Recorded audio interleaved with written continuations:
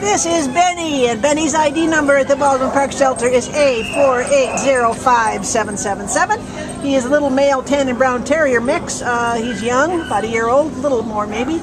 Came to the shelter as a stray on March 5th from El Monte, and he weighs about 12 pounds. Now he's had surgery on his uh, hind leg there. We, we don't. There's no indication of why. Maybe he was hit by a car before he came in, uh, something like that but uh, a lovely group called Dreams Come True uh, did pay for his surgery, so he's on the mend, and he is a puppy ready to go. Oh, yeah. Does need some puppy training, don't you think, Kirsten? Oh, absolutely.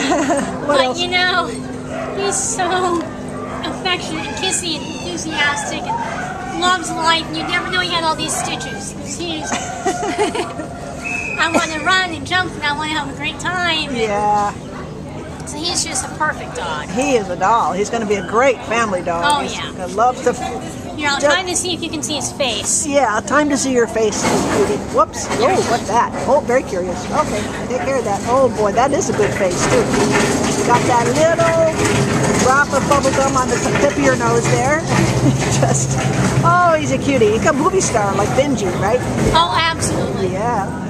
Well, this is a little guy who's available right now, and uh, he's, as I say, he's recovered nicely from that surgery, and uh, he just needs a home. Now he just needs to go someplace and, and start his life with you. So if you've got the time and the patience and the love to give this this love bug, come in, meet him, and take him home with you right now. Look this way, though.